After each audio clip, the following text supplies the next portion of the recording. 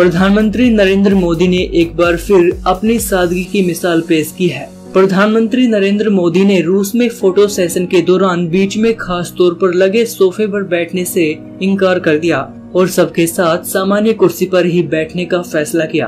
केंद्रीय मंत्री पीयूष गोयल ने अपने ट्विटर अकाउंट से एक वीडियो शेयर किया है, जिसमें पीएम मोदी सोफा छोड़कर कुर्सी पर बैठते नज़र आ रहे हैं। पीयूष गोयल ने वीडियो शेयर करते हुए प्रधानमंत्री मोदी की तारीफ़ की है।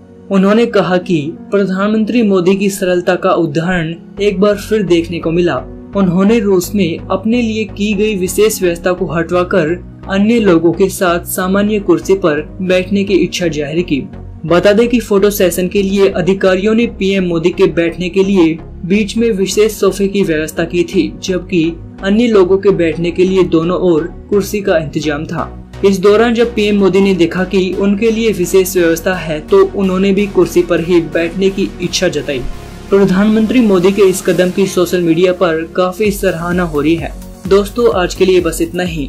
अगर आपको हमारी न्यूज़ पसंद आई तो इसे लाइक एंड शेयर करें और अपने व्यूज़ हमें कमेंट करके ज़रूर बताएँ। डेली ट्रेंडिंग न्यूज़ की रिपोर्ट सब्सक्राइब करें हमारे चैनल ऐसी लेटेस्ट और इंटरेस्टिंग न्यूज़ के लिए।